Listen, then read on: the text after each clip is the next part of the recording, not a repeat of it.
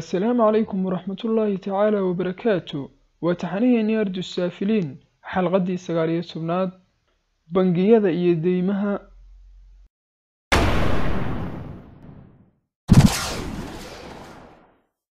Dagaalkii labaad ee adduunka kadib waxaa la qabtay shir la odhan jiray breton woods.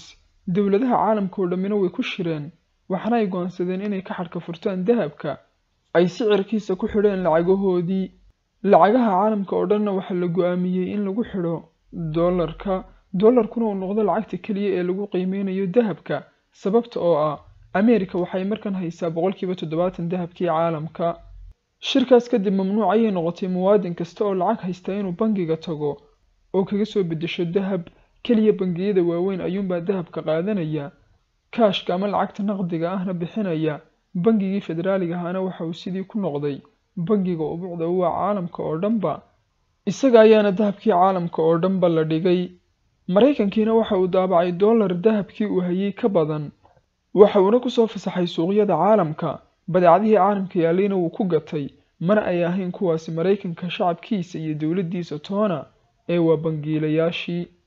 Maraykanku dahabkii uu ka urursaday dagaalkii labaad waxa uu badankiisii kaga baxay dagaalkii kuuriya iyo dagaalkii fietnaam iyo dagaalkii qaboobaa intii soo hadhayna dowladihii qaar ayaa ka dalbaday oo yidhi noo soo celiya dahabkii.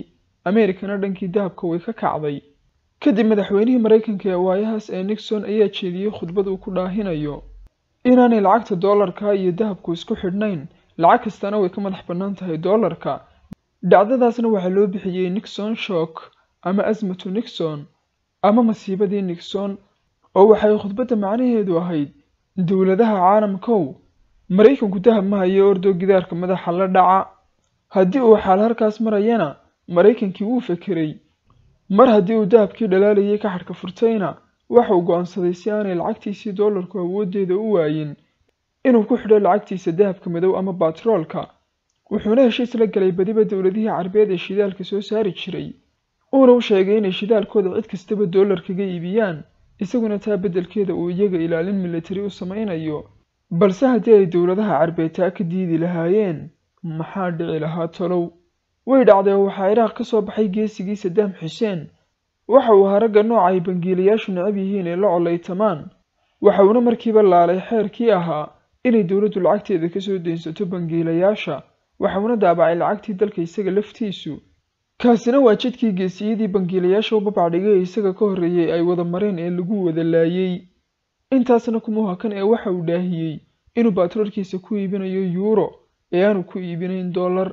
Kadib maraykanku intuu samaystay sababihii aynu caalamkii warbaahinta ku soo lafagurnay ayuu ku soo duulay ciraaq waana kii la dagaalamay. Markii sadaam la ridayna wax walba sidoodii ayaa lagu celiyey. Waxaa haddana madaxa la kacay madaxweynihii khadaafi ee liibiya oo laalay isla xeerkaas ka daynsiga bangiyada lacagta laga soo daynsanayo waxuuna dhaahiyey inaanu shidaalkiisa dollar ku iibinayn ee uu ku iibinayo lacag hor leh oo diinaar dahaba oo qadaadiica wixii khadaafi lagu sameeyeyna waynu ka wada dheregsannahay markii la ridayna wax waliba halkoodii ayay ku laabteen. Waxaa haddaa wada isweydiinaysaa hitler iyo sadaam iyo khadaafi weligiiba waxaan maqlayay inay ahaayeen mustakibiirro ummadahooda hoog dhadhan siiyey. Waa sidee sawdigan geesiyada ka dhigay? Balse waxaad ogaataa in ninka kale taliska ahi meel uu joogaba uu dadkiisa samaha la jecel yahay. Dhanka horumarkana uu u jiido laakiin naftiisa iyo dabcigiisu aanay laba waxa aqbalayn.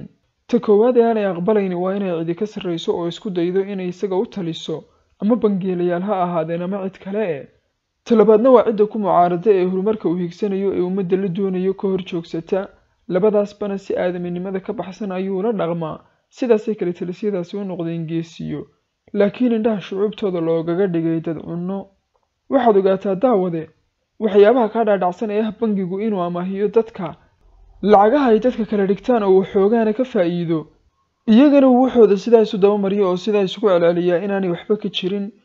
Ee uu bangigu adeegsado nidaam ah inuu lacagtaada adigu dhigato boqolkiiba sagaashan u dhigma dib u daabaco taadana uu meel kuu dhigo. Kadib taa uu daabacay uu dadka amaahiyo nidaamkaasna waxaa la yidhaahdaa fractional reserve banking waxaa intaas u dheerinaya amaahinta dadka ay lacagaha amaahinayaan suuqgeyn u sameeyaan oo xayeysiiyaan si ay dadka iyo dowladdaba deymo badan ugu qabsadaan. Isla marka uu qofku deynkaas qaatana waxa uu noqonayaa qof u silsiladaysan bangiga oo noloshiisuba ku raaxaysiga lacagtaas iyo ka warwarka bixinteeda ka dhexayso sidoo kale qofkaasi lacagtaas gaadhiga ama guriga uu siistaa maaha wuxuu isagu leeyahay ee bangiga ayaa iskale. Oo haddii aad lacagtaas muddadaas ku celin weydo ilaan maba haysidoo maba celinayside waxaa la qaadanayaa wax allaale iyo wixii aad leedahay. Haddii ay hantidaadu ku filnaan weydo bixinta deyntaasna xabsiga ayaad toosu aadaysaa balse waxa waxaasba ka yaab badan in marka la gaadho xilligii lacag bixinta ee laguu soo digo ee laguu soo cagajugleeyo ee aad uba hesho ee u geyso. Inta ay qol dambe la galaan lacagtaas aad u geysay ee u soo jabtay ee u soo baabaaday ay gubayaan oo sida ay cidlada iyo waxbada uga abuureen lacagtaas ay cidladii iyo waxbadii dib ugu celinayaan miyaad la yaabtay qodobka ha yaabin sababta oo ah ma doonayaan lacag ka badan inta ay u qoondeeyeen inay suuqa gasho.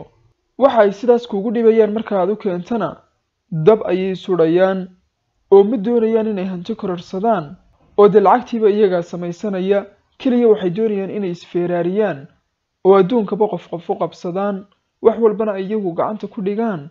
Waxaas ay samaynayaan oo dhanna waxay ku hoos qariyaan xeerar iyo sharciyo ay dejisteen oo cid walba afka laba liiro ka saaraya. Haddii aan si kale kuugu dhigo ka waran haddii ay hal mar dowladda iyo shacabkuba deenka iska wada gudaan soo bangiilayaashii ciddidoodu calooshooda ku jabi mayso. Saaxiib waxaad ogaataa in deynka dalkaas uu bangigu ku leeyahay mar walba uu ka wan yahay lacagta suuqa taalla.